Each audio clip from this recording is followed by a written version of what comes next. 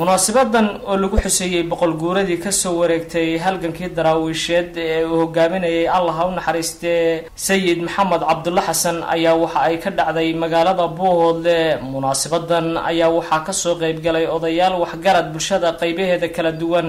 Ugu horeyntiina waxaa halkaa ka hadlay qaar ka mid a odayaashii ka soo qeybgalay munaasabadan iyagoona ka sheekeeyey halgankii daraawiisheed iyo weliba sidoo kale ahmiyadii ay u lahayd ummadda soomaaliyeed waxaa laga as-aasay halgamayaashii daraawiiseed sidaan anigu taariikhda ku hayo balliga la yidhaahdo qurmis ee heegaale dhinaciisa waqooyi ka ah turwareen u dhexeeya heegaale halkaasaa xarunta daraawisheed laga as-aasay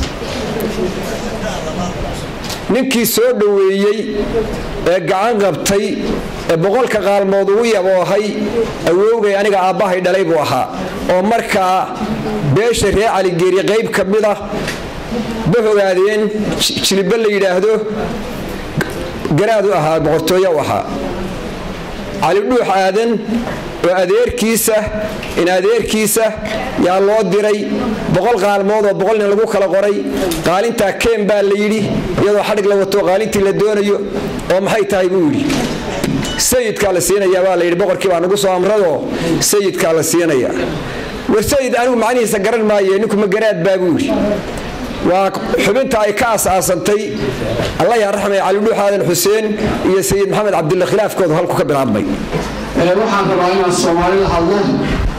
Taariikhda soomaaliyeed waa la yaqaanaa ciddii lahayd iyo meeshuu ka askuntay iyo ciddii u halgantay iyo ciddii ku dhimatay iyo cidda maanta midhaheeda culasaba waa la garanaya waxaa lagu halgamayaa maanta taariikhdii daraawiisheed taariikhdii daraawiisheed dadkii ugu dhintay ee u dhaawacmay ee u qaxay ee lagu bullaqaystay ee ubadkiisii lagu raftayna maanta way ka qatan yihiin.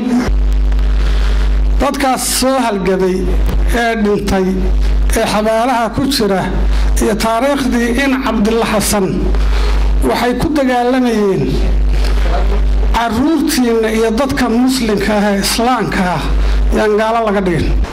Waxaan u odayaashu markay gaadhaan kolay meesha hadda anigu aan gaadhay inaan wax laga qaadan odayaasha dhallinyarada gobolka ka soo jeeda ama gobollada ka soo jeeda marka waxaan lahaa buuhoodle wuxuu u baahan yahay urur laga aas-aaso oo cusub oo dhallinyaro ah oo ah koley magacooda aan odhan lahaa turxaasaarka buuhoodle aan u bixiyo. Iyo daraawiishtii halgamaagii weynaaya caanka ahaa baynu ku dhex jiray oo halkan xafladda laysugu yimi aynu ku maamuusayn.